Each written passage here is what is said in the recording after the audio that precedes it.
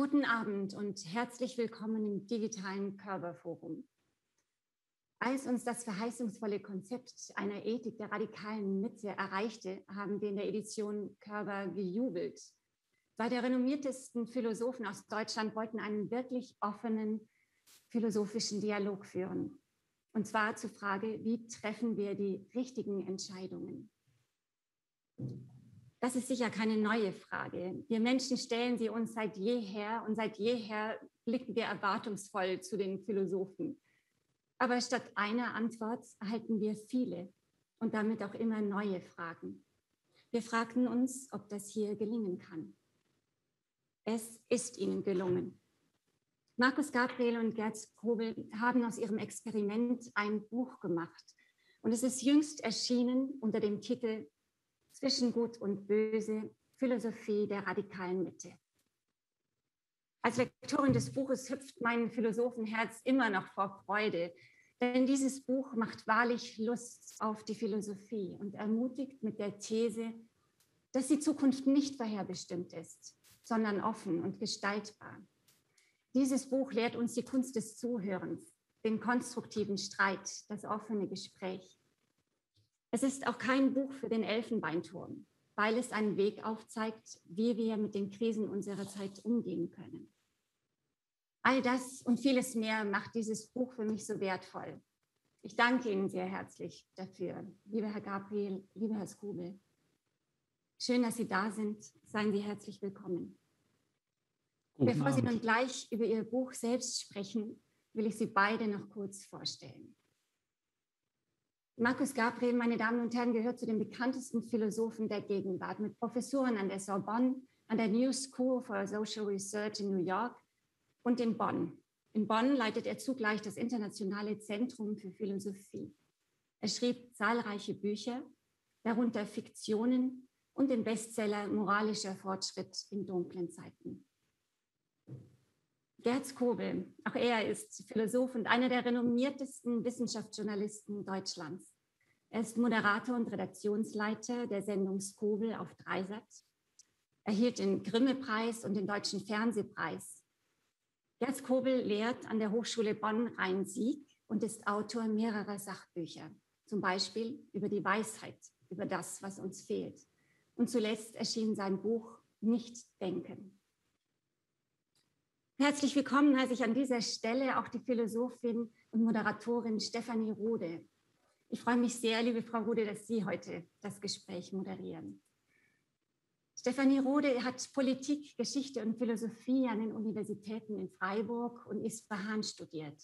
Seit 2015 moderiert sie unter anderem im Deutschlandfunk das Philosophiemagazin Sein und Streit sowie im WDR 5 das Meinungsmagazin Politikum. Liebe Zuschauerinnen, wenn Sie Fragen haben oder Einwände, mailen Sie uns gern. Die E-Mail-Adresse wird hier unten, wird im Bildschirm immer wieder eingeblendet. Ich wünsche Ihnen jetzt einen anregenden Abend und übergebe jetzt an Stefanie Rode. Vielen Dank. Ja. Vielen Dank, Ulrike Fritsching. Vielen Dank für diese sehr liebe Einführung. Herzlich willkommen auch von meiner Seite an alle, die zuschauen und auch an Markus Gabriel und Gerd Skobel. Hallo, schön, dass Sie da sind. Hallo. Guten Abend. Die Corona-Krise hat gezeigt, wie schwer es ist, richtige Entscheidungen zu treffen. Das haben wir alle gemerkt. Genauer, was es heißt, wie man eigentlich beurteilt, was gut ist, was richtig ist. Und genau darüber diskutieren sie beide ja in ihrem Buch Zwischen Gut und Böse, Philosophie der radikalen Mitte. Und sie fragen in dem Buch, wie wir gute Entscheidungen treffen können mit begrenztem Wissen in einer zunehmend komplexen Welt, in der es so viel zu wissen gibt, was wir aber nicht wissen in dem Moment. Und wie man genau das macht, inmitten von Gut und Böse, an einem Ort, oder einer Vorstellung, die Sie die radikale Mitte nennen. Das klingt jetzt erstmal überraschend, vielleicht auch, wenn man es zum ersten Mal hört, ein bisschen abstrakt. Wir wollen das jetzt aber ganz konkret machen und quasi mitten reinspringen in, dieses, in diesen Raum zwischen Gut und Böse und fragen, wie kann man denn auch in Krisen besser Entscheidungen treffen und warum braucht man diese Idee der radikalen Mitte gerade jetzt mehr denn je? Lassen Sie uns einsteigen, würde ich sagen, äh, mit einem Tänzchen. Und zwar mit einem Tango Ähm, Sie schreiben in dem Buch, It needs two to tango. Also man braucht zwei für den Tango.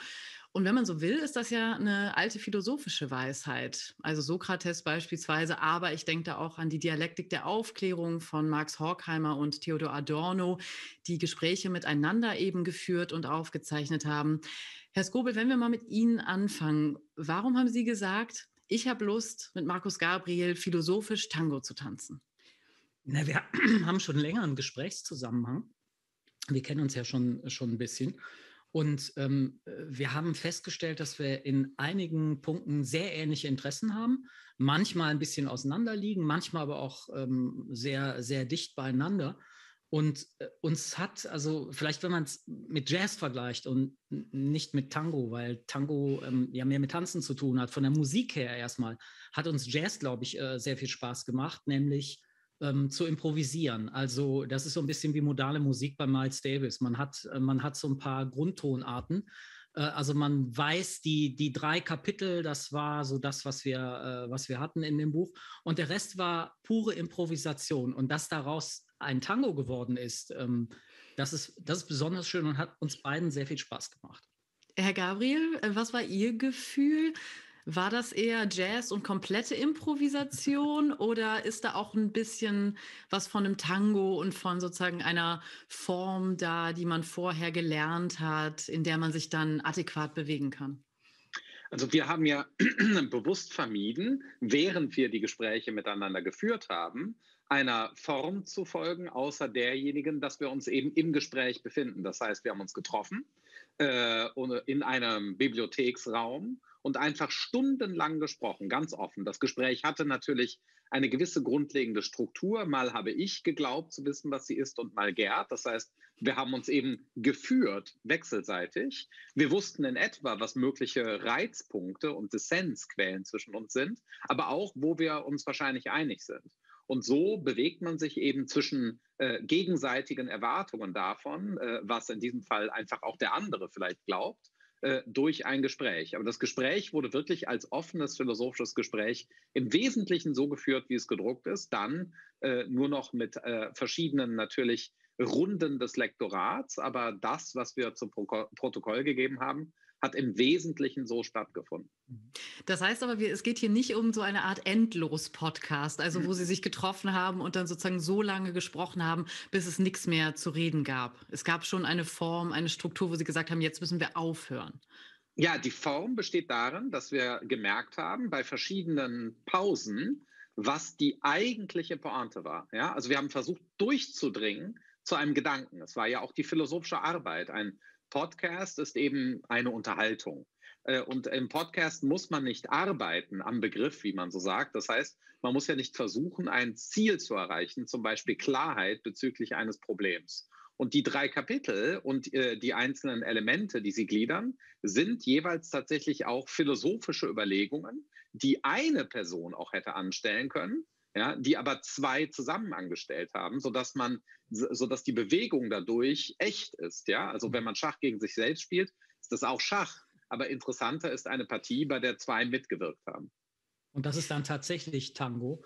Und ähm, in der Tat, also wir haben uns äh, fünfmal, äh, fünfmal getroffen und wie das Gespräch abgelaufen ist, war wirklich vollständig die Dynamik des Gesprächs. Und ähm, das war auch das Experiment äh, bei der ganzen Sache, ehrlich gesagt, weil wir uns vorher auch nicht sicher waren, äh, wie das, wo wir da, wo wir da rauskommen.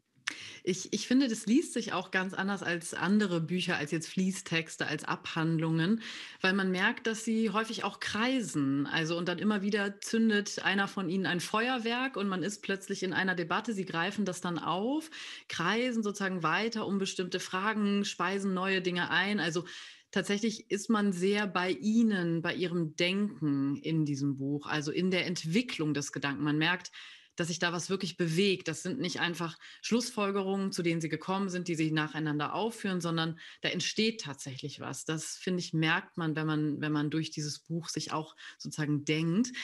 Ähm, ich habe mich gefragt, inwiefern ist die Mündlichkeit und mhm. auch die Dialektik des Erwiderns gewinnbringender, als wenn Sie jetzt einzeln sich hinsetzen und einen Fließtext schreiben. Vielleicht auch einen Fließtext, der ja dann im Zweifel konzentrierter ist. Ja, wir fangen ja an, wenn ich darf, mit einem Motto, das wir uns dann äh, nicht äh, zugemailt haben. Also äh, nicht die sozusagen der bibliografische Apparat, den es ja auch gibt, der ist dann entstanden nochmal in einer dritten Form, wenn man so will, der Kommunikation. Und das Motto stammt von dem bemerkenswerten äh, äh, gegenwärtigen nigerianischen Philosophen Bayo Akomolafe. Und es lautet, Thoughts don't come from within, neither do they come from without, they emerge between. Und äh, das, das heißt. Müssen Sie vielleicht kurz übersetzen dann auch? Ach so, natürlich. Also, Gedanken kommen nicht von außen, sie kommen aber auch nicht von innen. Gedanken tauchen dazwischen auf. Und das Auftauchen der Gedanken dazwischen, ja, zwischen uns, ergibt sich eben dadurch, dass Gerd gerade, und äh, in, es geht ja um Ethik, also bezüglich der Fragen, was wir tun sollen und wie wir das herausfinden, was wir tun sollen, leicht anders denkt als ich. Ja? Äh, und wir, wir glauben wahrscheinlich zu wissen, wenn Sie uns unabhängig voneinander fragten, was ist der Unterschied, dann könnten wir über den anderen eine Geschichte erzählen, warum der andere vielleicht anders denkt und worin das besteht. Und äh, wahrscheinlich wäre diese Geschichte, die Sie von jedem von uns hören, nochmal anders als die, die wir glauben, dass der andere sie im Kopf hat. Ja?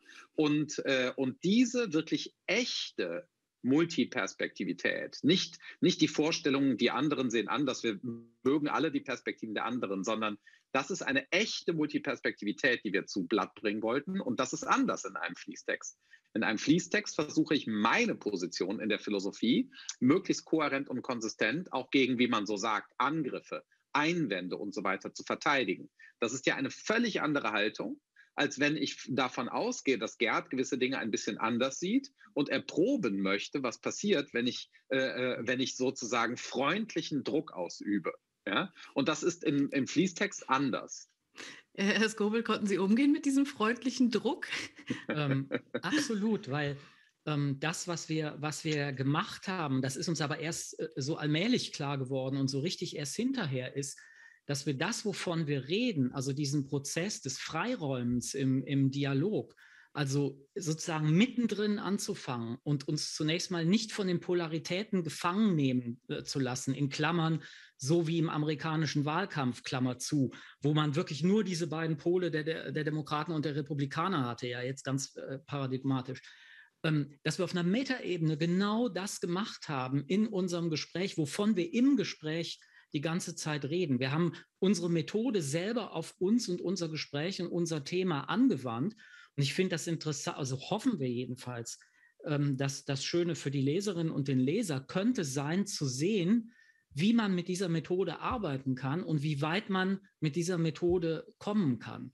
Und das ist ja eigentlich eine Methode, die wir auch empfehlen, um andere Probleme nicht zuletzt auch in der Politik zu lösen.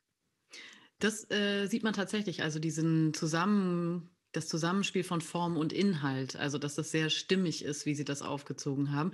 Lassen Sie uns vielleicht mal ein bisschen in den Inhalt einsteigen.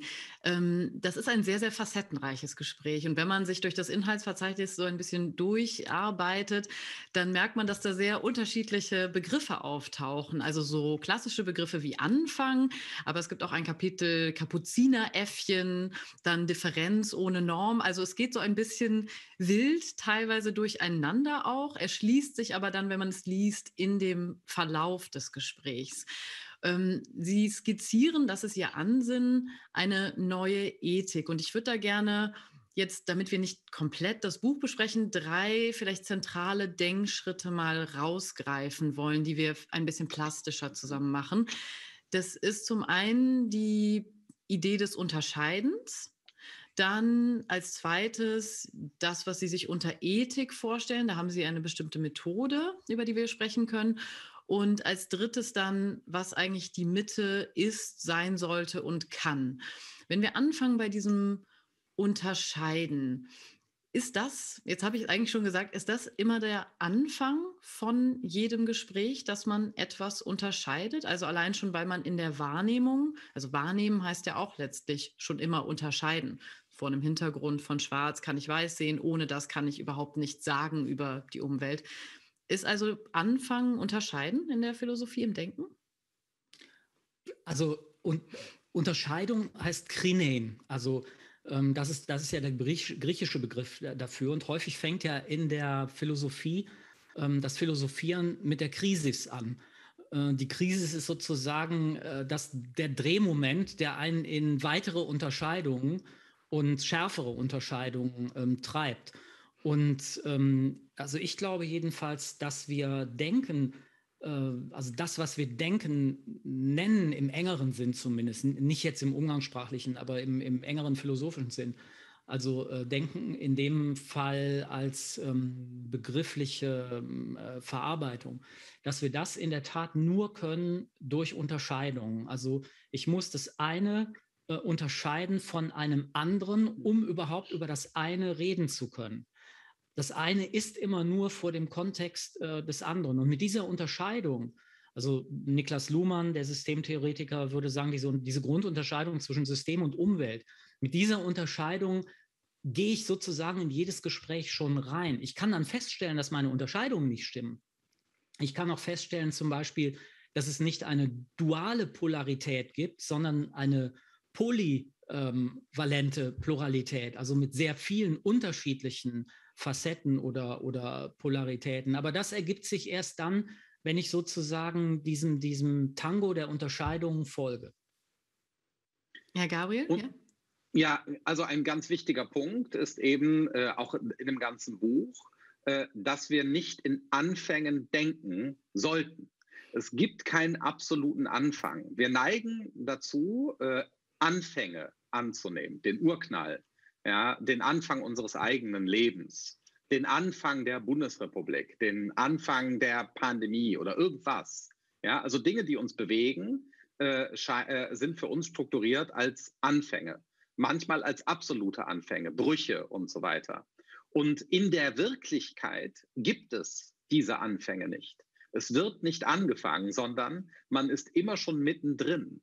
Äh, und äh, diese Idee, dass man eigentlich gar nicht anfangen kann, die besteht darin zu sagen, dass wir auch, wenn wir einen Unterschied ziehen oder scheinbar den ersten, schon auf Unterschiede gestoßen sind. Ja? Also der Versuch überhaupt zum allerersten Mal irgendetwas von irgendetwas zu unterscheiden, unterscheidet sich ja von sich her schon von jedem weiteren Versuch. Das heißt, selbst der erste Versuch wäre im Unterschied zu weiteren Versuchen schon der erste. Das heißt, nicht die Zukunft, die auf eine Unterscheidung folgt, bestimmt schon, was die Unterscheidung ist in ihrem Wesen. Anders gesagt, Unterscheidungen folgen nicht der Ordnung der Zeit, wie wir sie uns vorstellen. Ja? Äh, das, äh, und das hat ganz konkrete Auswirkungen in unserem Leben. Ich mache das jetzt durchaus mal sehr konkret, was wir gerade äh, ausgeführt haben. Wir unterscheiden und wir entscheiden uns für irgendetwas. Und sei es im Alltag, gehen wir heute Eis essen. Gehen wir in die Innengastronomie jetzt, wo sie geöffnet ist, schon ein bisschen ethisch geladener. Ja, aber wir machen irgend so etwas. Und wenn man das morgens äh, sich überlegt, dass man nachmittags ein Eis essen geht, äh, dann bestimmt die Zukunft, der, äh, von der man glaubt, sie wird so und so sein mit dem Eis, alles, was bis dahin geschieht. Ja, man, äh, man äh, nicht die Terminabfolge, das Tempo, ja, was man macht, wie viel man vorher isst oder trinkt. Das heißt, unser Leben ist von einer Zukunft gesteuert, die äh, äh, dadurch zustande kommt, dass wir jetzt einen Unterschied machen. Aber dieser Unterschied, ja, der kommt uns sozusagen aus der Zukunft entgegen. Und dieser Kreislauf, den wir aus dem Leben des alltäglichen Handelns kennen, was uns jeden Tag beschäftigt, ja, äh, wie kommen wir ans Ende des Tages? Ja, äh, daran sieht man, dass es keinen Anfang gibt. Der Tag beginnt auch nicht. Ja, man denkt immer, der Tag fängt an. Das fand ich interessant, als ich das nämlich äh, gelesen habe, diese, diese Debatte zwischen Ihnen, ähm, musste ich an Hannah Arendt denken, die ja sich ganz anders positioniert äh, und sagt, alles ist eigentlich immer wieder Anfang. Also sozusagen das ganze Denken und Leben ist ständig ein neuer Anfang. Sie hat sich damit ja so ein bisschen abgegrenzt von Martin Heidegger, der, der sehr stark vom Tod ausgedacht hat. Und sie hat gesagt, nein, es ist immer dieser Beginn und dieses Anfang. Da sagen Sie jetzt aber dezidiert, nein, so sehen wir das nicht, sondern wir sehen schon immer diese Verbindung Verbindung der Zukunft mit der Gegenwart, quasi mit der Vergangenheit. Naja, Hannah Arendt meint ja was anderes, glaube ich. Und da hat sie ja, da hat sie ja durchaus recht. Also es ist kein Wider Widerspruch ah, okay. ähm, mhm. zwischen uns ähm, also wenn ich jetzt nochmal, was Markus äh, eben gesagt hat, nochmal ähm, etwas einfacher formuliere, würde ich sagen, in dem Moment, in dem wir überhaupt Sprache benutzen, machen wir ja schon von Unterscheidungen Gebrauch. Also das ist sozusagen ganz platt, da kommen wir so, sowieso nicht dahinter. Und dann wenn wir, wenn wir anfangen, äh, was auch immer zu machen, Eis essen zu gehen, äh, nachdenken, äh, irgendwas anderes, sind wir immer schon mittendrin. Es hat immer schon angefangen. Aber dann, und darauf bezieht sich Hannah Arendt, die ja da auf Augustinus sich, äh, sich bezieht, dann setzen wir selber einen Anfang. Also ich kann jetzt zum Beispiel entscheiden, ähm, ich würde jetzt ausmachen oder ich mache jetzt, äh, keine Ahnung, äh, eine, andere, eine andere Beleuchtung an. Damit setze ich ja ein, mache ich, kreiere ich einen Unterschied, der wiederum Folgen hat. Und ähm, vielleicht noch zu dem, was Markus gesagt hat, das ist ja interessant, dass das in der Soziologie inzwischen ein Riesenthema ist. Ich habe äh, gerade jetzt einen äh, Artikel ähm, äh, gelesen über Future as Social Fact. Ähm, das ist das, was Jens Beckert äh, in, in, Köln vom Max-Planck-Institut für Sozial äh, imaginierte Zukünfte nennt. Und das Verrückte ist, dass wir immer glauben, das Geld steuert die Wirtschaft. In Wahrheit sind es diese imaginierten Zukünfte, und das kann man empirisch belegen, dass das so ist, die ganz entscheidend unsere Wirtschaft, unsere Geldströme und äh, auch unsere Existenz, worauf Markus ja abgehoben hat, tatsächlich ähm, beeinflussen. Also platt gesagt, jetzt im Wahlkampfmodus ist natürlich von den großen Narrativen die Rede. Das ist im Grunde genommen nichts anderes, nur dass die Narrative oft den Fehler begehen, uns zu sagen, dass irgendetwas jetzt angefangen hat. Äh, also im Grunde genommen ist das eine Form von Religion. Am Anfang war das Wort. Und äh, dieses Wort spricht der große Parteivorsitzende oder die Parteivorsitzende. Und genau da, ähm, glaube ich, äh, liegt ein Fehler drin. Wenn wir über, oder wollten Sie noch? Gerne. Ja, ich würde sagen, man könnte äh, eine Pointe, die Hannah Arendt vielleicht äh, mit dem Anfangsdenken mhm. und der Natalität und so weiter gegen Heidegger setzt, den könnte man etwas anders machen. Ein Vorwurf an Heidegger äh, auf der politischen Ebene äh, ist ja, äh, von der von Hannah Arendt kommt, ist äh, zu glauben, dass es so eine Art verwurzelte Kontinuität gibt. Ja? Und wenn es aber keine Anfänge gibt, dann gibt es die gerade nicht. Es gibt keinen Sinn, in dem sie Bayerin sein können und äh, damit anknüpfen an etwas sehr Bajovarisches, was es auch schon vor ihnen gab. Das ist aber genau, was Heidegger natürlich sagen möchte, dass der Sinn, in dem es keine Anfänge gibt, Zukunft und so weiter, etwas sehr stark damit zu tun hat, dass man in Kontinuitäten steht. Und äh, deswegen habe ich ja auch von Brüchen gesprochen. Das heißt, dass es keinen Anfang gibt, heißt, dass es immer wieder Brüche gibt. Es gibt immer wieder, nennen wir das Anläufe, die so aussehen wie absolute Anfänge. Und zu glauben, es wären aber absolute Anfänge, ist die Illusion. Ja? Unser Leben äh, da es mittendrin geschieht, ist nicht irgendwie Teil einer großen Linie, sondern diese Linie ist, äh, ist auf eine vielfältige Weise in sich brüchig.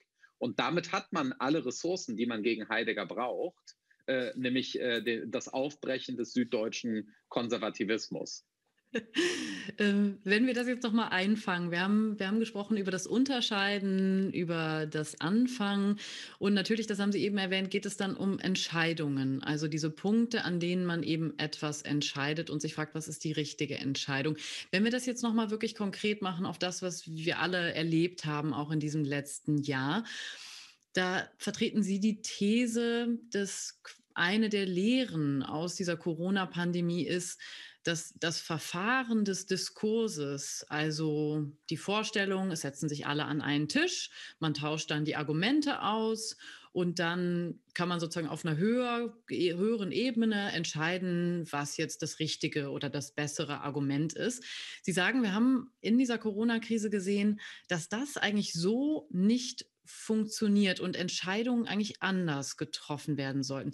Wie kommen Sie darauf? Das überrascht ja jetzt vermutlich erstmal viele, die zuschauen. Also ich denke mal, jemand, der, äh, der sich mit, also der einen kritischen Begriff von äh, Rationalität entwickelt hat, den überrascht das eigentlich nicht.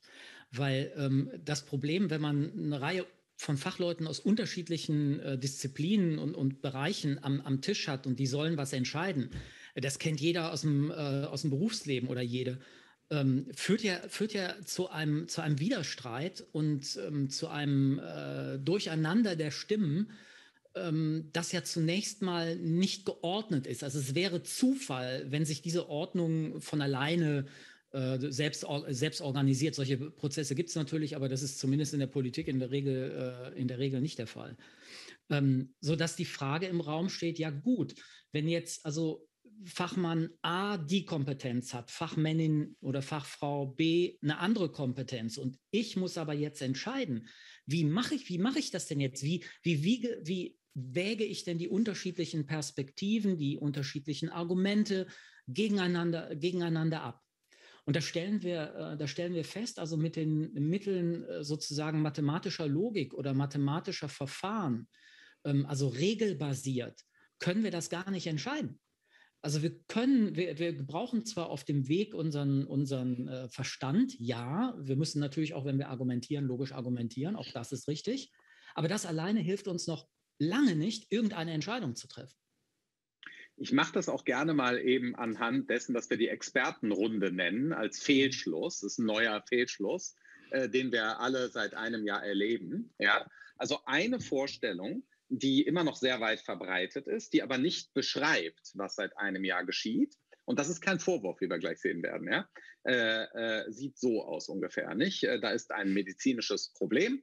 Äh, äh, und dieses medizinische Problem ist dann Infrastrukturen gebunden. Ja, äh, erst die Erfindung von Impfstoffen, dann ihre Verbreitung, die Kliniken, äh, die Beatmungsgeräte, die intensivmedizinischen Plätze, die Pflegekräfte etc., also Ressourcen.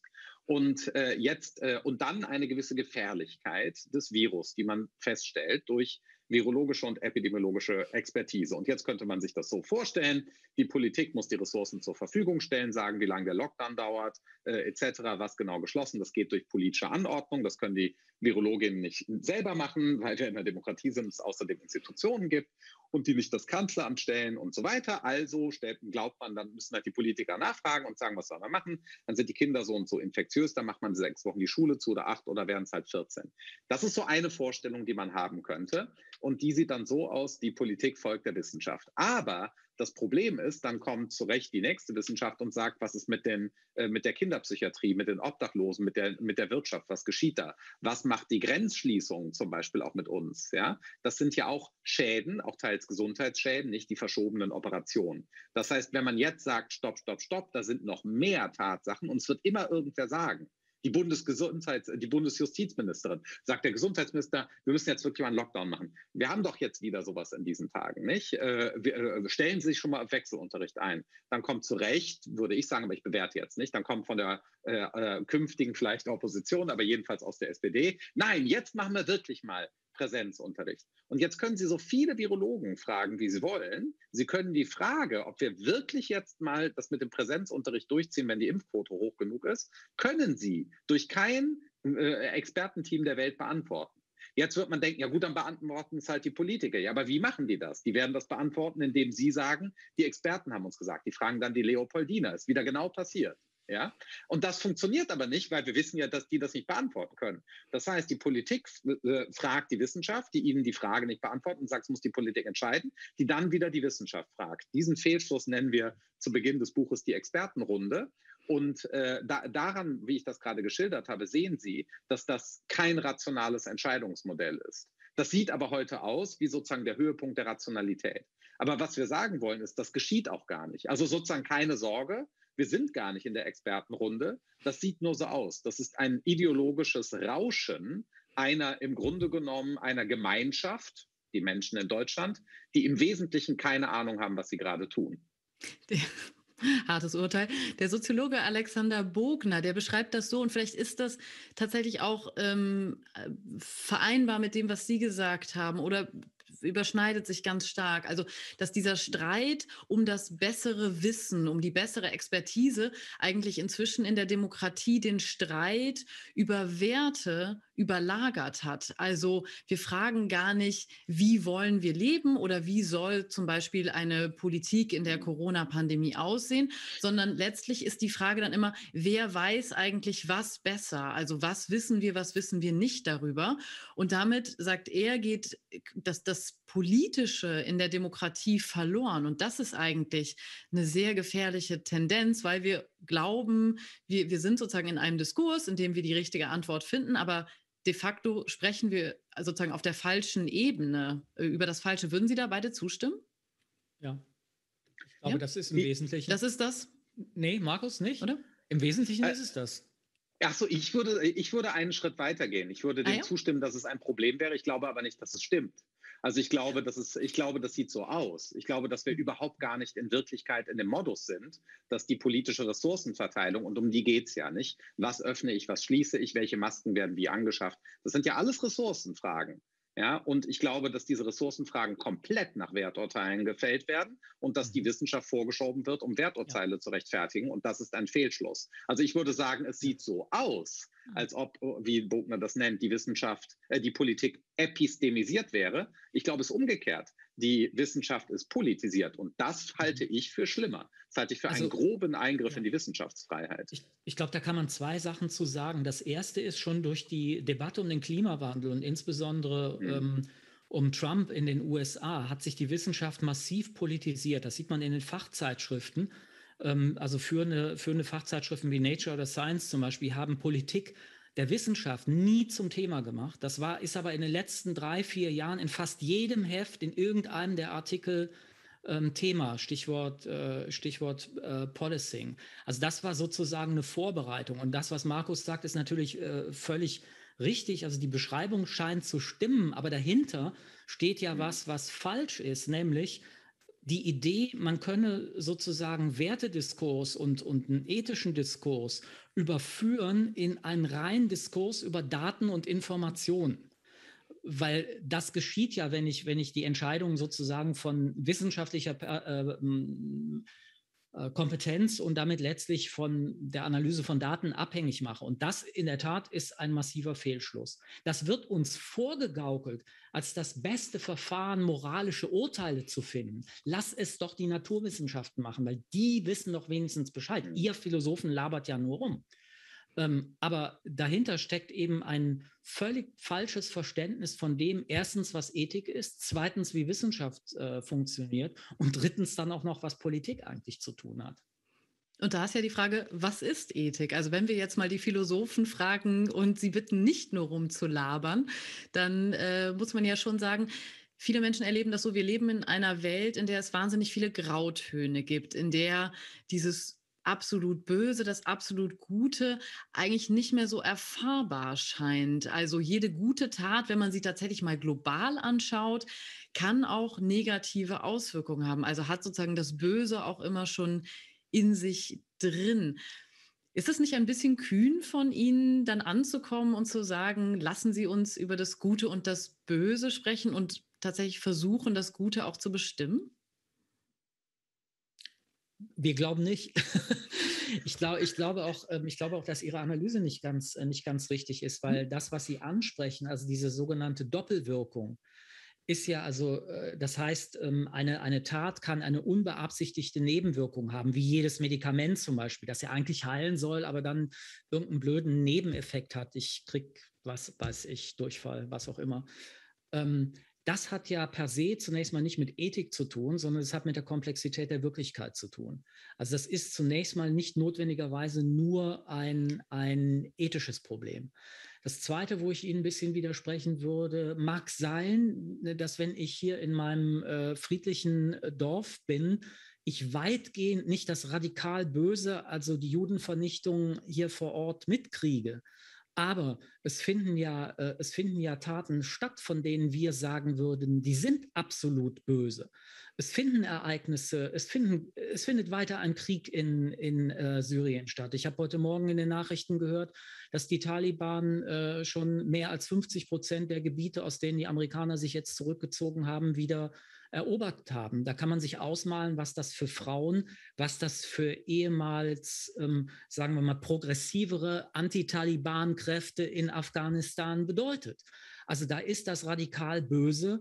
Ähm, wobei ich nicht sage, jeder Taliban ist böse, aber äh, das Böse im Sinne einer Vernichtung der anderen, weil sie anders denken, das ist im, das ist im Gang. Und also wenn wir sagen, wir kriegen das ja nicht so richtig mit, okay, wir leben in einigermaßen gemäßigten Zonen, aber ich meine, man muss im Grunde genommen nur mal wirklich die Augen aufmachen und einmal durch einmal U-Bahn fahren in Berlin oder in Frankfurt oder, oder sonst wo. Und dann kriegt man, glaube ich, sehr schnell ein Gespür dafür, dass sehr vieles nicht in Ordnung ist.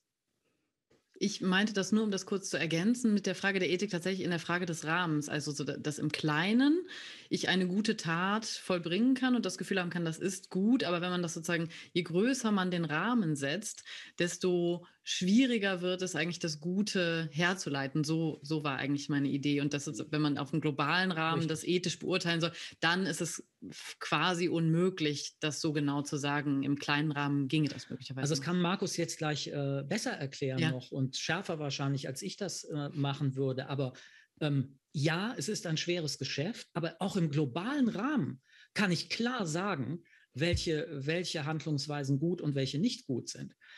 Hm. Und ein wichtiger Punkt, ich glaube das auch, wir tun das nur nicht. Also der Umstand, äh, dass wir äh, nicht uns das gar nicht zutrauen, also dass der Diskurs, natürlich führen den manche Philosophinnen und Philosophen und manche andere auch, Aktivistinnen und Aktivisten, aber wir trauen uns nicht genug zu, das zu tun. Und das ist ein Vorwurf an uns. Und das Böse ist wohlgemerkt eben auch nicht immer nur woanders. Ja, wir haben Frontex, wir haben Moria, wir haben eine inakzeptable Migrationspolitik, wir haben die Grenze geschlossen in der Corona-Pandemie, das hat massive Auswirkungen. Wir haben Menschenrechtsverletzungen in der Bundesrepublik Deutschland in diesem Jahr zuhauf erlebt. Kindern das Schulrecht zu entziehen, aus welchem Grund auch immer, auch wenn es ein sehr guter Grund ist, ist, wenn Sie das isoliert betrachten, eine schockierende Menschenrechtsverletzung. Und das haben wir geduldet und dulden das weiterhin. Und das Entsetzen darüber ist sehr gering oder dass man nicht nach Mecklenburg-Vorpommern reisen darf. Nicht, dass ich so gerne dort immer hinfahre, ja, aber das muss man sich mal klar machen. Das heißt, das ist ein geringes Übel, aber das ist nicht zu unterschätzen. Ja? Also eine Grenzpolitik innerhalb der Bundesrepublik ist schon grenzwertig. Äh, und die, äh, nicht, was ich damit sagen möchte, ist, das globale Böse ja, äh, äh, ist erstens nicht immer nur an anderen Orten, sondern auch bei uns. Und das ist entscheidend, dass wir das mitbeobachten.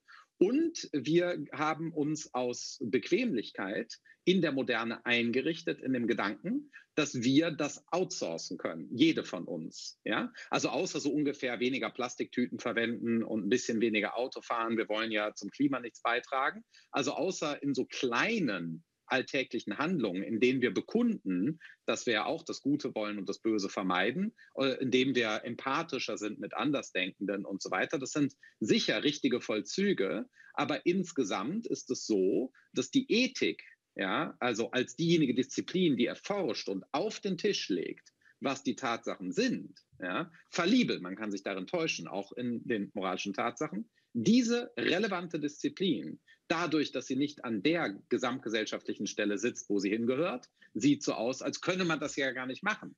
Das kann man aber schon. Das ist so nicht, wenn Sie, wenn Sie, was weiß ich, äh, äh, Jens Spahn fragen, wird er vielleicht auch sagen, Quantenfeldtheorie kann man nicht machen. Da werde ich sagen, Sie nicht, Herr Spahn. Aber es gibt Leute, die das können. Und so ist das eben auch mit der Ethik.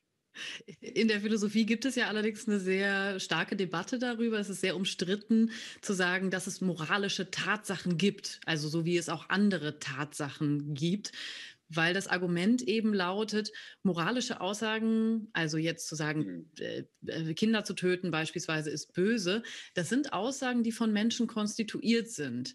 Die können gar nicht entstehen, unabhängig von den Wünschen der Menschen, die quasi sich äußern darüber. Also es gibt nichts außerhalb, auf das man sich beziehen kann. Da würden Sie sagen, da können Sie gar nicht mitgehen.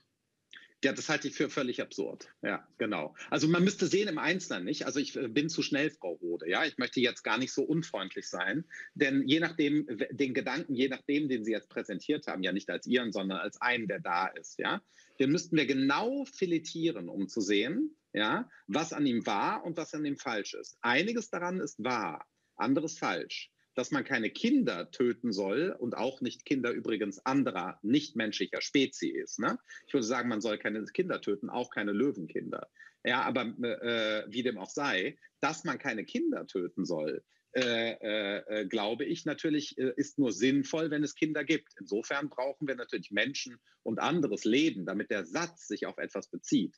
Ich würde aber sagen, dass selbst wenn alle der Meinung wären, man sollte Kinder töten, würden sich eben alle täuschen. Und das heißt, dass es eine moralische Tatsache gibt. Wir können das nicht durch eine Meinungsänderung ändern.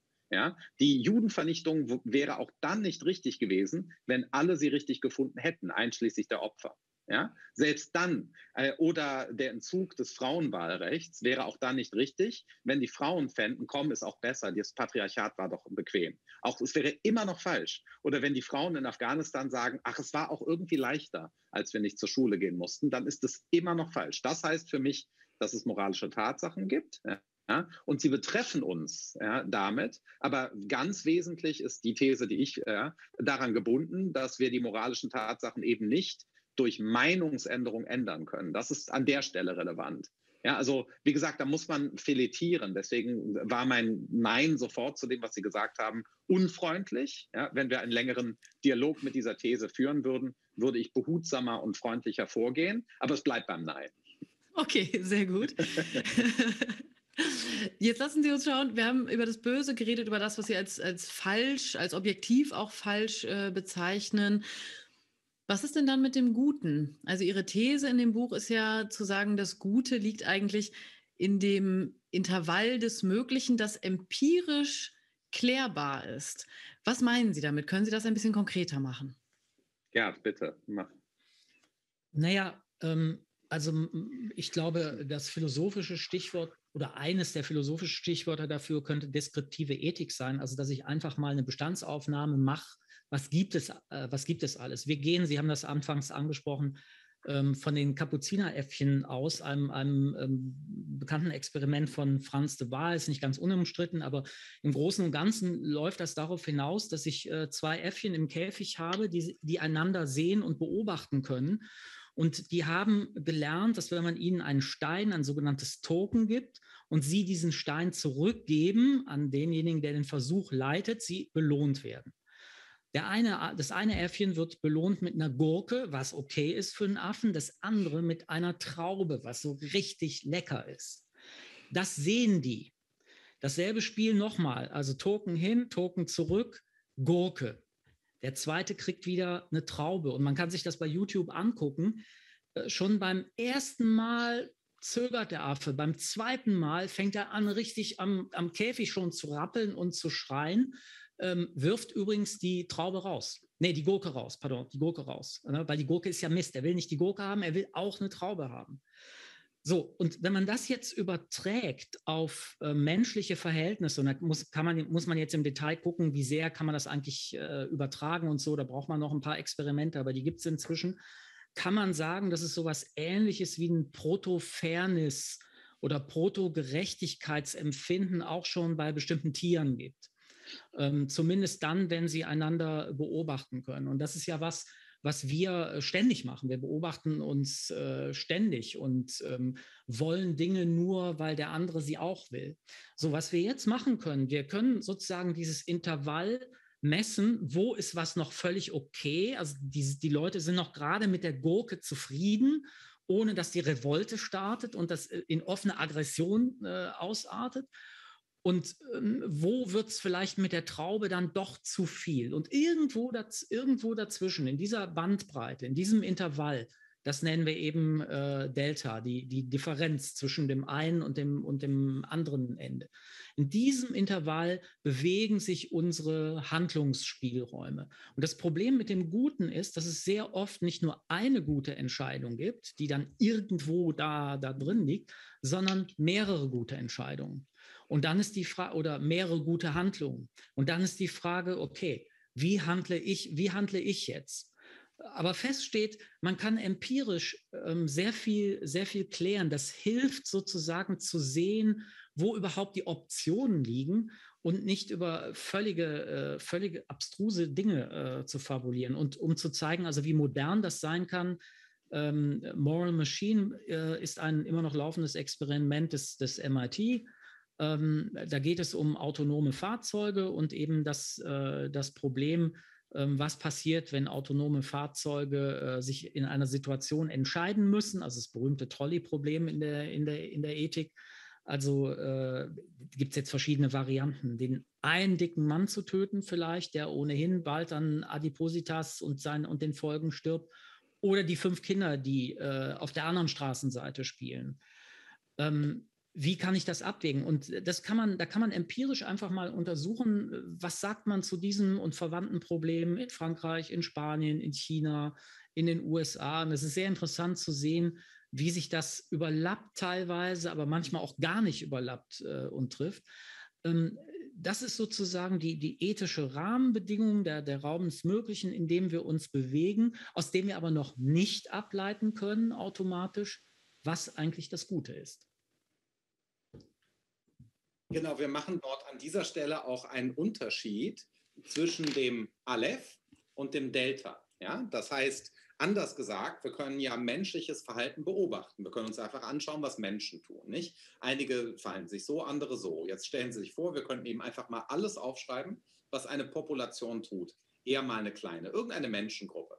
Und dann ist es so, dass einiges von dem, was diese Menschengruppe tut, wird mit, den, mit dem, was sie tun soll oder von dem, was sie tun soll, abweichen. Niemand von uns verhält sich ein, auch nur einen einzigen ganzen Tag so, wie sie sagen würde, dass sie sich verhalten soll auf Nachfrage. Ja, das ist empirisch belegt und das kann jede von uns mal testen. Früher war das die Praxis des Beichtens bei den Christinnen und so weiter und überhaupt die religiöse Praxis. Man beobachte einfach mal seinen Tag. Was hat man denn heute alles gemacht? Und prüfe das. Versuchen Sie das mal einfach als Experiment ein paar Tage und man wird feststellen, dass man häufig nicht das tut oder jedenfalls mit irgendeiner Regelmäßigkeit, was, was man von sich selber sagen würde, was man tun soll. Aber man tut eben auch häufig, was man tun soll. Ja? Also beides trifft zu. Und deswegen ist in dem empirischen Material des menschlichen Verhaltens liegt die Norm drin, aber sie ist nicht dadurch sichtbar, dass wir das Verhalten beschreiben. Denn was wir tun sollen und was wir nicht tun sollen, können wir dem Verhalten alleine nicht entnehmen. Und das, was wir tun sollen, die Untermenge von dem, was wir tun, die nennen wir das Aleph. Und äh, wir sind beide der Meinung, und dafür gibt es auch empirische Indizien, aber ansonsten glaube ich auch, ist die menschliche Natur so, dass das Aleph letztlich überwiegt. Also insgesamt tun wir mehr Gutes als Böses als Gesamtmenschheit. Und zwar zunehmend mehr. Also eine solche Enlightenment Now-These von Steven Pinker und anderen ja auch vertreten, halte ich für richtig. Es gibt moralischen Fortschritt. Wenn Sie eine Zeitmaschine äh, nehmen, äh, 300 Jahre in die Vergangenheit und könnten den ganzen Planet Erde bereisen, dann wäre der moralische Zustand äh, dessen, was heute Deutschland ist, eher vergleichbar mit dem heutigen Afghanistan äh, als mit dem heutigen Bayern. Ja? Das heißt, Sie werden dann ganz klar sehen, es gibt überall moralischen Fortschritt. Oder denkt man, de denken wir doch alle nur mal an die letzten Jahre zurück. Ja? Durch auch äh, MeToo und sowas begünstigt, sind wir und andere Bewegungen, sind wir einfühlsamer geworden. Ja, weil wir uns alle gefragt haben, nehmen wir auch an diesem systemischen Übel irgendwie teil, von dem uns Aktivistinnen gesagt haben, es existiere. Und man wusste es auch so schon, ja. Aber wie nehmen wir denn daran teil? Wir haben uns doch sowas alle in irgendeiner Variante gefragt. Wie gehen wir denn mit geschlechtlicher Differenz oder mit anderen Formen von Differenzen um? Ich sage nicht Identität, ich sage bewusst Differenzen. Wie gehen wir damit um? Und dadurch sind wir einfühlsamer geworden. Und diese neue Einfühlsamkeit, die man in den letzten Jahren beobachten kann, ja, die ist meines Erachtens auch ein moralischer Fortschritt, weil wir eben sensibler dafür geworden sind, dass es auch psychische Gewalt gibt, ja, die auch ganz, auf ganz kleiner Ebene schon anfangen kann. Wie gehe ich mit meinen Mitarbeitern und Mitarbeiterinnen, Kolleginnen und Kollegen, Freundinnen und Freunden eigentlich um? Und äh, das äh, deswegen. Ich glaube, wenn wir wirklich über die Zeit das Verhalten der Menschen beobachten, wir werden erschrocken, ja, wie es zugegangen ist vor 300 Jahren oder auch vor 25 Jahren. Ich glaube, wenn wir jetzt mal äh, eine Zeitmaschine nehmen könnten, 25 Jahre zurück, mit unserer heutigen Sensibilität, äh, gäbe es ganz viel, wo wir sagen würden, wow, wow, wow, wow, wow. ja, also, äh, und äh, das ist, äh, das heißt, ich würde auch noch die Zusatzthese wagen, Aleph nimmt zu in der Delta-Menge. Sehr schön. Jetzt ist natürlich die Frage, wie bringt man das zusammen mit einer, einem neuen Verständnis von dem, was Sie die Mitte nennen. Also wir haben jetzt gesprochen über die Kongruenz quasi von wie man handelt und wie man soll, handeln sollte. Da sagen Sie, wir sehen so etwas wie einen empirisch feststellbaren moralischen Fortschritt im Verlauf der, der Zeit. Ähm, was bedeutet das für das, was Sie die radikale Mitte nennen? Was passiert da? Im, Im, Grunde genommen äh, könnte man sagen, bringen wir den ersten und den zweiten Teil ähm, an der Stelle zusammen ähm, und sagen, wir beginnen immer schon mittendrin. Aber bevor du dich auf eines der Spielfelder zerren lässt äh, von einer der äh, starken Parteien, also im Partei jetzt im Sinne von äh, Argumentation, ähm, Interessensgruppen, was, was auch immer. Bleib erstmal in dieser Mitte zwischen allen Stühlen sitzen, halte das mal aus. Das Denken, äh, Markus hat das ja zitiert, äh, das Zitat von Akumalafe, ähm, ist ja das, was sich dazwischen ereignet. Das ist der, das ist der eigentliche äh, Prozess des Denkens, der da, äh, der da in Gang kommt. Halt das, halt das erstmal aus und versuch dich mal leer zu machen. Das bedeutet, um wieder an unseren Anfang anzuknüpfen, erinnere dich daran, dass es nicht einen absoluten Anfang gibt. Erinnere dich daran, dass das alles schon angefangen hat und du schon selber mittendrin bist. Und ähm, versuch mal diese verschiedenen, diese verschiedenen Stimmen ähm, kennenzulernen, zu schauen, was, äh, was steht dahinter, was sind die Interessen, wie gut sind die Argumente. Und dann erst ähm, kannst du entscheiden. Also radikal, sagen wir, sind nicht die extremen Positionen, ähm, also das extreme Rechtsaußen, das extreme Linksaußen oder was auch immer, oben, unten, äh, ist, ist ja völlig egal. Sondern radikal ist im Gegensatz dazu die, ähm, die Haltung, sich ganz bewusst zwischen die Stühle zu setzen. Das ist eine prekäre Haltung, weil jeder wird versuchen, einen den Stuhl unterm Hintern wegzuziehen. Und es das ist natürlich ist, auch eine schwierige Haltung, weil man diese Ambivalenz balancieren muss, ne? Richtig. Ja, ja. Aber man darf das jetzt nicht missverstehen sozusagen als eine Romantik der Mitte, dass sie sagen, ach, die Extreme in diesem polarisierten Diskurs hat man ja in der Corona-Debatte gesehen, das ist so eindeutig und wir wollen jetzt die Mitte romantisieren. So darf man sie nicht verstehen, ne? Nein, nein, nein, weil die Mitte, ja, die Mitte, die wir beschreiben, kann ja ein Element sein, das von den Extremen namhaft gemacht wird nehmen wir Corona, ja, irgendwie ein Extrem wäre nicht äh, Zero Covid, also wir rotten das Ding aus, schließen die Fabriken, mhm. alles, ja, wir machen das jetzt ganz links, ja, und die, das andere Extrem ganz rechts ist, was soll das, gibt gar kein Virus, lass doch laufen. Ja, so. Das wären zwei mögliche Extreme. Jetzt wirklich mal ausrotten, egal ob Winter. Ja, das Ding wird platt gemacht auf Null. Und die anderen sagen, was für ein Ding. Und wenn, wenn es überhaupt existiert, laufen lassen. Das wären die extremsten Punkte. Ja, so. Und jetzt ist es so, dass wenn man die fragt, was meinst du, ja, auf beiden Seiten, wird man dann, sagen wir mal eher wohl bei Zero, dann Wahrheiten finden. Wir sagen nicht, dann nehmen wir daraus was und daraus was und sagen, wir sind so für Inzidenzen im Bereich 150 im Winter. Das so eine gemütliche Mitte quasi. Genau, das ist ja, ja leider, was passiert ist. Ja? ja? Also die Zahl, die Schreckenszahl 165 der Bundesnotbremse ist nicht die radikale Mitte ja, weil es ja Tatsachen gibt bezüglich dessen, dass zum Beispiel die 165, 50, die 35, alle diese Marker im Wesentlichen zwar irgendwie eine Indikatorik haben, die halbwegs seriös ist epidemiologisch, aber insgesamt nicht belastbar. Das ist genau, was wir nicht meinen, sondern in der radikalen Mitte kann es durchaus sein, dass man äh, in, äh, in einigen Positionen ganz klar im politischen Spektrum der Partei, die Linke ist, ganz klar die Linke. Und beim anderen auch mal sagt bei der CDU oder einem äh, also Mitte-Rechtsflügel der FDP oder so, ganz richtig ohne dass man erschrocken über sich ist. Aber ich bin doch links oder ich bin doch. Ja? Das heißt, das ist dann nicht der Impuls. Das heißt, die radikale Mitte besteht darin. Äh, deswegen steht sie ja nicht fest die romantische Mitte, die Sie beschreiben, nennen wir das mal die romantische Mitte. Genau, so habe ich es genannt, ja, ja. Genau, ja, ja, genau. Äh, äh, ein schönes Konzept, danke. Das werde ich ab jetzt Sie zitieren verwenden, um Gerne. einen Unterschied nochmal zu machen. Die mhm. romantische Mitte wäre die Fantasie, äh, ja, äh, äh, jetzt einigt euch doch mal. Jeder kriegt eine Erdbeere. Wir haben zwei Erdbeeren, kriegt halt jeder eine. Ja? Aber es kann ja sein, dass einer die zwei braucht, weil er mehr Hunger hat. In der radikalen Mitte steht gar nichts fest. Genau, und, aber ich hatte das ja gefragt, auch die romantische Mitte, weil das ja ein politischer Kampfbegriff ist, also ohne das romantisch. Also es ist ja der umkämpfte Raum im, in, der, in der Politik, dass äh, verschiedene Parteien sich als die Mitte darstellen wollen, als das Gemäßigte, als das, was man ohne Probleme wählen kann, wo man sozusagen eine klare Antwort bekommt. Das wollte ich dann nochmal abgrenzen zu Ihrer philosophischen Idee der Mitte.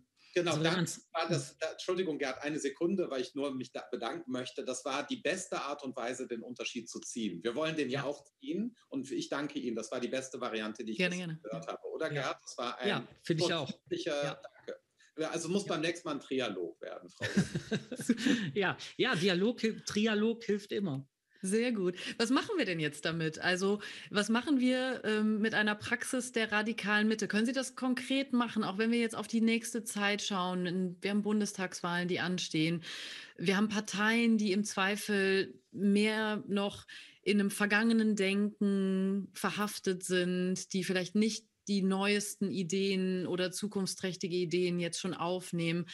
Wie kann da eine Praxis der radikalen Mitte aussehen? Also wenn Sie Herrn Laschet fragen, und ich bin mir nicht sicher, ähm, ob er das schätzen würde, was wir, was wir hier sagen, dann würde er das sagen, was er genau gestern in den Nachrichten gesagt hat. Er, er würde nämlich sagen, wir haben ein wunderbares Parteiprogramm, das soziale Gerechtigkeit verbindet mit einer Industrie, die auf Wachstum aus ist und einem richtig guten Klimaschutz das ist das, was Sie die romantische äh, Mitte eben genannt haben. Und ähm, das ist im Grunde genommen das, was die Grünen in ihren Anfangszeiten irgendwie vor 20 Jahren mal, mal gesagt haben, dass das eigentlich ein gut, also ein, ein, ein gutes politisches Ziel wäre, das man in irgendeiner Form erreichen sollte. Das ist nicht die radikale Mitte, sondern ähm, wenn, ich, wenn ich mal kurz wechsel nochmal auf, dieses, äh, auf diese Idee des, des Intervalls. Wir sagen nicht, das Gute liegt immer genau in der Mitte und ist sozusagen die gaußsche Normalverteilungskurve und ich muss nur die Daten richtig setzen und dann weiß ich, äh, wo, die, wo der Peak der, der Glockenfunktion ist, sondern das kann durchaus sein, Markus hat das, hat das ja eben gesagt, dass äh, das, was sich an Entscheidungen rauskristallisiert, da liegt oder, oder da liegt. Ähm, wir, müssen, wir müssen überlegen, wie ist das mit dem Klimaschutz gegenüber der Wirtschaft? Was kann der Wirtschaft zugemutet werden? Was kann in Richtung Klimaschutz zugemutet werden?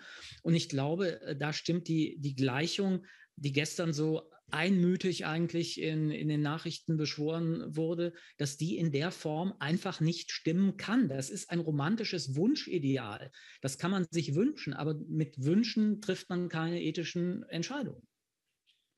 Ja, also genau, ich will kein Laschet-Statement abgeben und wenn, wäre es viel positiver äh, äh, aus meiner Erfahrung aus Nordrhein-Westfalen heraus, aber das ist gar nicht so wichtig. Also genau, äh, ich glaube, dass äh, ich würde sagen, sowas ähnliches zu jeder Partei derzeit. Ja? Also äh, immer je anders, ne? also nicht allgemein. Das war auch Pars pro Toto, also ja, ja, ähnliches findest du bei anderen Parteien genauso. Genau, bei den Grünen zum Beispiel, um direkt ja. das sagt. Ja. Äh, aber da würde, da, da, müsste man eben dann näher ran, nicht mit der Methode der radikalen Mitte. Deswegen jetzt auch wirklich gar, gar nicht parteipolitisch gemeint, die Überlegung, ja, äh, auch äh, Gerd hat es nicht so gemeint, glaube ich. Aber äh, mhm. ich würde sagen, nicht radikale Mitte, nehmen wir, nehmen wir irgendein äh, Beispiel, nicht? Wirtschaft und Klima. Und äh, die erste Neigung, das kennen wir alle, ist, wir müssen Wachstum runterfahren. Ja, äh, äh, planetary Limits, der Planet hat Grenzen, wir müssen die Indikatorik ändern, es darf nicht immer nur Wachstum sein. So, ja, wie soll das denn gehen? Wir brauchen ja auch die technischen Lösungen. Ja, wenn wir, wenn wir keine fossilen Brennstoffe mehr haben, wir müssen aber irgendwo hinkommen, auch im Nahverkehr, auch aus sozialen Gründen muss man irgendwie fahren können. Da kann man nicht sagen, der fünfköpfigen Familie so und so und so, die sonst jetzt irgendwie den, den Bus fährt, nehmt das E-Bike. Ja, äh, das heißt, das ist, das ist nicht kein ernstzunehmender Vorschlag, obwohl sowas im Raum steht. Die richtige Lösung ist dann zu sagen, wie, wenn wir denn den Begriff des Wachstums ändern. Richtig ist, Wirtschaft braucht Wachstum. Richtig ist auch, der, die Art des Wachstums, die wir praktizieren, zerstört die Lebensbedingungen der Menschen und aller anderen Lebensformen. Aber es gibt zum Beispiel, wäre jetzt mein Vorschlag, nicht wie ich eine radikale Mitte da jetzt justieren würde. Man muss sich erinnern an Aristoteles, es gibt noch einen anderen Sinn von Wachstum, qualitatives Wachstum. Ja? Äh, das heißt, wie wäre es denn, wenn wir qualitatives Wachstum als ökonomischen Wachstumsindikator verwenden? Ja, also wirklich Qualität an ökonomische Bepreisung binden. Ich mache ganz konkret mein Liebling, meine Lieblingsfantasie, Sie erlauben, ich mache es nur kurz. Ja. Man könnte auch was anderes machen. Ich plädiere schon länger und meine das ganz ernst für einen globalen Zeppelin-Verkehr. Das ist bessere Qualität, das ist nachhaltig, bessere Qualität. Sie fliegen ruhig. Wer will denn in sechs Stunden in New York sein? Wenn Sie immer nur in sechs, ja, wenn Sie ganz gemütlich nach New York schauen können mit 130 km/h, das geht alles, können auch ein paar Wale und äh, Delfine beobachten. Sie haben größere Räume, Sie, es kann eine angenehme Fahrt sein, schon die Fahrt selbst, da ist wirklich der Weg das Ziel, etc. etc. Und sowas ist jetzt wirklich nur eine wilde Idee, die ich persönlich habe. Äh, mit der ich mich gerade beschäftige. Ja, aber das, solche Wirtschaftskonzepte der Zukunft, Ja, die muss man, glaube ich, entwickeln. Und dann hat man nicht mehr schneller nach New York mit mehr Flugzeugen und mehr Leute drin, sondern sie haben auf eine bestimmte Weise weniger und gleichzeitig doch mehr. Und solche Konzepte äh, entwickelt derzeit keine Partei, hm. sondern es wird sich nur gefragt, was man wie erlauben und wie verbieten muss, wegen der endlichen Ressourcen. Man muss aber die Ressource neu denken, genauso wie man Arbeit neu denken muss. Und keine der derzeitig antretenden Parteien arbeitet daran auch nur, außer dass natürlich mit manchen Parteien die Wahrscheinlichkeit, dass sie bei den Linken im intellektuellen Umfeld mehr Menschen haben, die so etwas denken, ist erheblich höher, ja, fast unendlich höher, als dass das bei der AfD so ist. Das ist sicher so. Aber das heißt nicht, dass immer die Linken recht haben. Ja, ja. Ein weiteres, weiteres Thema, Entschuldigung, ein weiteres ja. Thema ähm, ist zum Beispiel äh, die Diskussion jetzt über das Homeoffice. Ne? Also in vielen Betrieben wird das ja massiv jetzt zurückgedreht. Ähm, äh, die, äh, die, Leute sollen gefälligst wieder ähm, äh, im, im Betrieb, im Büro, wo auch, wo auch immer auftauchen. Ähm, das funktioniert sozusagen nach einem, nach einem bestimmten Regelwerk und nach bestimmten Erwartungen, die es in der Industrie, im Dienstleistungsgewerbe und so weiter gibt. Wenn man Markus Idee aufnimmt und ähm, mit Qualität, mit einem Qualitätsbegriff da rangeht, dann könnte man mal fragen, welche Kombination, das muss ja nicht nur Homeoffice sein oder nur Büro sein, sondern welche Kombination macht eigentlich Lebensqualität aus. Und zwar ja. so, dass sich das auch auf die Arbeit positiv ähm, bemerkbar, für die Arbeit positiv bemerkbar macht, aber eben auch für mein Familienleben, äh, was auch, was auch immer. Und äh, in der Tat, also das sehe ich im Moment auch noch nicht so richtig, dass das, äh, dass das diskutiert wird. Das wird wahrscheinlich in einem halben oder dreiviertel Jahr diskutiert werden, wenn wir zunehmende äh, Zahl von Leuten haben, die jetzt einen Burnout kriegen, nicht weil sie zu viel im Büro waren, sondern weil sie zu viel zu Hause waren.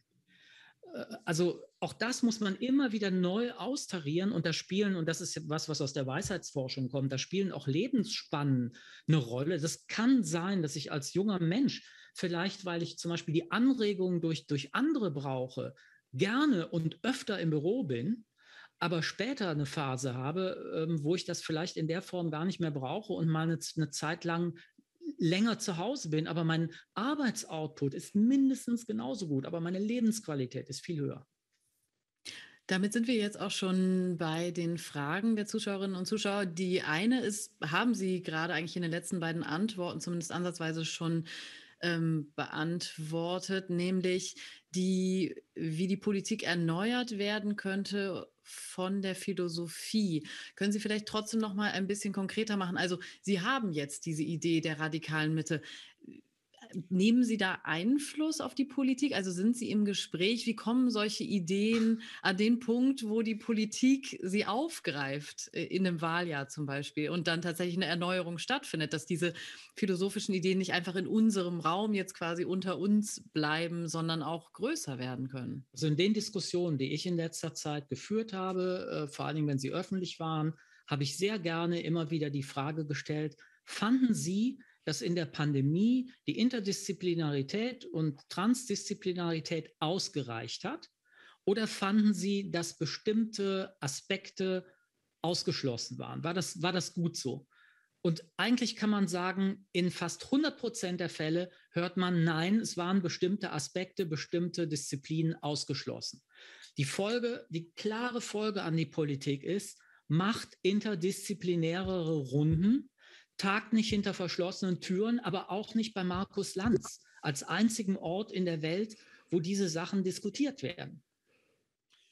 Also ich bin da, ja, vielen Dank, ich kann das alles unterschreiben. Also ich bin tatsächlich vielfältig, fast täglich, irgendwo auf der Welt und jetzt auch in Deutschland, in Kontexten, in denen ich äh, diese Gedanken äh, entweder bei Thinktanks oder direkt auch politisch vorstelle. Das heißt, äh, äh, äh, fast zu viel, aber ich mache dieses Engagement sehr gerne aus dem Grund auch genau, wie Sie sagen, wie bringt man diese Gedanken in die Politik ein? Ja, zum Beispiel bin ich nächste Woche in Berlin auf Einladung des Markenverbandes und eröffne einen Kongress. Und zu meinen Zuschauerinnen gehören zum Beispiel bis auf den Parteivorsitzenden, in dem Fall der AfD. Ich habe das nicht zusammengestellt. Auch das bitte jetzt nee, kein direktes Werturteil. Alle zum Beispiel Generalsekretäre der äh, großen deutschen Parteien werden etwa zu meinen Zuhörerinnen gehören, wenn ich über das Projekt einer neuen Aufklärung äh, spreche. Ich finde mich in vielen solchen Kontexten nicht nur national, sondern vor allen Dingen international. In Japan, Mexiko, Argentinien, Chile, etwa viel im letzten Jahr, auch in Südkorea. Äh, äh, je nachdem, was gerade los ist. Also ich nehme das sehr ernst und betreibe das auch, bringe mich dort auch gerne ein. Und wie Gerd und ich ja auch sagen würden, äh, wir glauben ja, wir nehmen das hier ernst, dass es das braucht. Und ich glaube auch, dass genügend Rationalität und Offenheit grundsätzlich dafür da ist. Ja. Nehmen wir äh, den Ministerpräsidenten Nordrhein-Westfalens, der ja den wünschenswerten äh, interdisziplinären Pandemierat hat mit Philosophinnen, Soziologen, von Armin Laschet über Ottfried Höffe und Frau Christiane Wopen und so weiter, sind, äh, der hat genau das gemacht dieses Jahr und das hatte gewisse Vorzüge. Ja, also äh, es gab ein ausgewogeneres, niemand hat, hat äh, das ist gut gemacht. Aber es gab in Nordrhein-Westfalen gewisse Vorzüge äh, in der Einstellung zur Pandemiebekämpfung, die es woanders nicht gab, dadurch.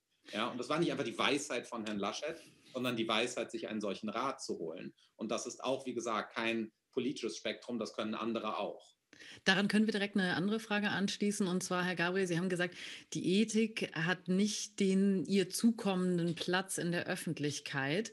Und die Person, die das geschrieben hat, weist darauf hin, dass es den Ethikrat ja gibt und fragt, ob das nicht eine Stelle ist, an der ethische Debatten einen Ort haben und das könnte ich jetzt noch ergänzen, wo ja diese Dinge, die Sie gerade erzählt haben, über eine andere Bewertung von Qualität, von Ressourcen und Verteilung, ähm, ob das da nicht auch viel prominenter diskutiert werden könnte. Richtig, klar. Man könnte den, dem Ethikrat eine etwas andere Position geben. Ich glaube, dort, wo er derzeit im Institutionengefüge steht, macht er das nicht. Äh, das ist aber eine institutionelle Konstruktion. Ich sage auch nicht Fehlkonstruktion, denn es ist sehr nützlich, dass es ihn gibt. Ja? Also er ist auf eine bestimmte Weise in die Existenz gekommen und ist dann Teil sozusagen einer politischen Rahmenstruktur. An sich äh, spricht ja nun gar nichts dagegen. Das hat teilweise die Funktion. Aber wenn Sie hinschauen, wer im Ethikrat sitzt, sind das allemal nicht überwiegend Ethikerinnen. Ja, das heißt, der Ethikrat ist nicht, was er zu sein scheint. Das, der Ethik, äh, dann, wenn ich sage Ethik in der Öffentlichkeit, dann meine ich an der Stelle dann auch wirklich Ethik. Die braucht dann aber, oder auch Philosophie mit anderen Teildisziplinen, Erkenntnis und Wissenschaftstheorie und so weiter, die braucht aber dann wiederum ein interdisziplinäres Setting, das, was der Ethikrat teilweise ist. Das heißt, das sollte, wenn überhaupt, ein interdisziplinärer Rat sein und nicht mit dem Namen der Ethik auftreten, weil nur teilweise Ethikerinnen und Ethiker sind, die dort mit dem Ziel sitzen, die sind da auch. Und es gibt auch gute und interessante Überlegungen und Urteile der letzten Jahre zum, ja, äh, zum, zum assistierten Suizid und so weiter. Da ist vieles auch geleistet worden, möchte ich nicht mhm. schmälern die Leistungen. Aber äh, in dem Kontext ist es so, dass äh, äh, natürlich auch wenig transparente Ethik da ist, sondern häufig eben die Mitteilung eines Urteils. Was wir, äh, was wir brauchen, ist, dass äh, äh, nicht ausgebildete Ethikerinnen und Ethiker sprechen mit allen Menschen weil äh, wir sind ja nicht als Philosophinnen infallibel. Ne? Das heißt, äh, äh, da, wenn ich sage mehr Ethik in der Öffentlichkeit, dann meine ich den Pegel, nicht den, das zu laut, aber ein, ein Pegel, der eher vergleichbar ist der, der Virologie-Debatte vom letzten Jahr. Ja, äh, das war zu viel, sonst hätten wir nur noch Ethik die ganze Zeit. Es war auch zu viel Virologie. Aber der Pegel ist jetzt im unteren Bereich des gerade noch Hörbaren und äh, mit äh, der einen oder anderen Stellungnahme mal des Ethikrates. Und das ist natürlich erheblich zu wenig. Es gibt eine weitere Frage zur Diskurslogik und zwar, wie kommen Menschen denn überhaupt zu geteilten Ergebnissen und Haltungen? Vielleicht jetzt auch in dem Kontext, wo wir gerade gesprochen haben, über interdisziplinäres und transdisziplinäres Entscheiden. Na, da gibt es verschiedene Gründe für, würde ich sagen, nicht nur, nicht nur einen. Also Markus würde jetzt wahrscheinlich sagen, na, es sind die unterschiedlichen Perspektiven natürlich. Und diese Perspektiven sind real. Jetzt kann ich als Soziologe da rangehen und nochmal erklären, dass die Perspektive, ich sage mal, eines Kernphysikers möglicherweise anders ist als die Perspektive des Bauern, der neben dem ähm, AKW seine, seine Kühe weiden, äh, weiden lässt. Da muss ich jetzt gar nicht groß theoretisch rangehen, sondern einfach durch die Lebensumstände, durch die Beschäftigung, durch meinen geschichtlichen Werdegang, durch all das entwickle ich unterschiedliche Interpretationen von Fakten. Und es ist ja so, äh, dass die Interpretation der Dinge selten ein eindeutig ist. Und also wenn man es wissenschaftstheoretisch nimmt. Also wir haben gedacht, wir hätten eindeutig und endgültig bestimmt, was Raum und Zeit ist mit den Newtonschen Gesetzen. Haben leider rausgekriegt dann, dass wenn das Ganze sich gegen Lichtgeschwindigkeit ähm, äh, bewegt, sich Raum und Zeit doch ändern. Und zwar in einer Art und Weise, die Newton sich niemals hätte vorstellen können. Kann wahrscheinlich, äh, kann wahrscheinlich auch nicht. Ähm, das heißt, selbst scheinbar absolut sichere Fakten können im Laufe der Jahrzehnte, Jahrhunderte neu und anders interpretiert werden und teilweise sehr anders interpretiert werden. Dann gibt es noch eine Bemerkung, die hier auf Facebook gepostet wurde, und zwar, der Wahlkampf lähmt doch die Politik und die Politiker. Anstatt zu kooperieren und auszuprobieren, versucht die Mehrheit lediglich gewählt zu werden.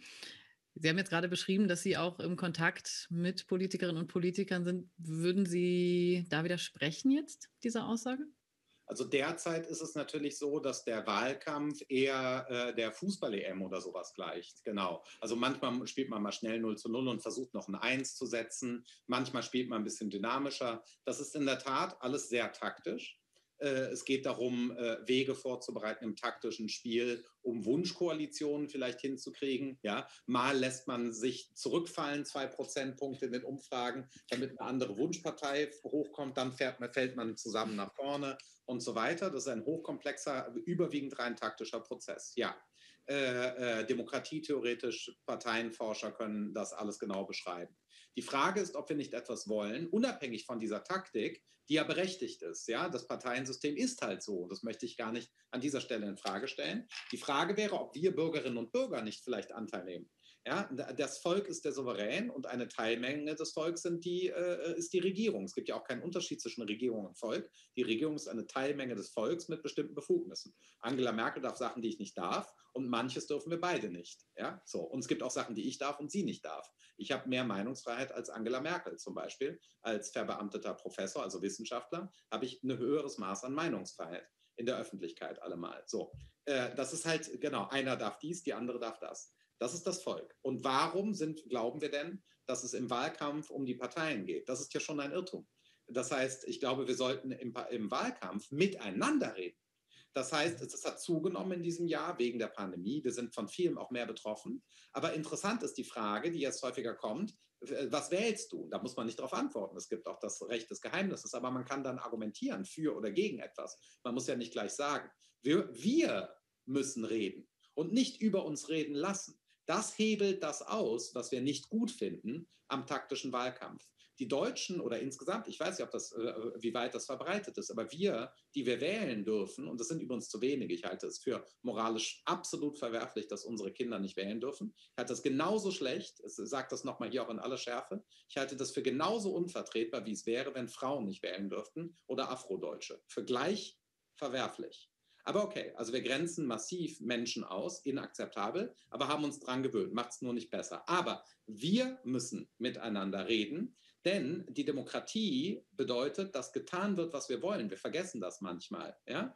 Die CDU im Wahlkampf oder die Grünen oder die SPD oder wer auch immer, ja, die sagen das, was wir hören wollen.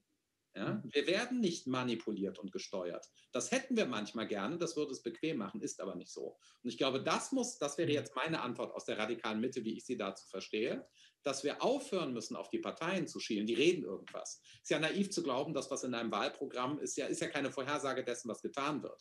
Das Wahlprogramm ist ein Verkaufsschlager, aber die interessante Frage ist, was kommt auf die Straße? Und bestimmt nicht das Wahlprogramm. Auf die Straße kommt auch, wenn die Regierung gebildet ist, was wir wollen. Und ich glaube, deswegen müssen wir miteinander reden, wir drei und unser Publikum. Und im Alltag kann ich nur alle unsere Zuschauerinnen dazu ermutigen, die politische Debatte miteinander zu führen und sich auch nicht die Themen abnehmen zu lassen.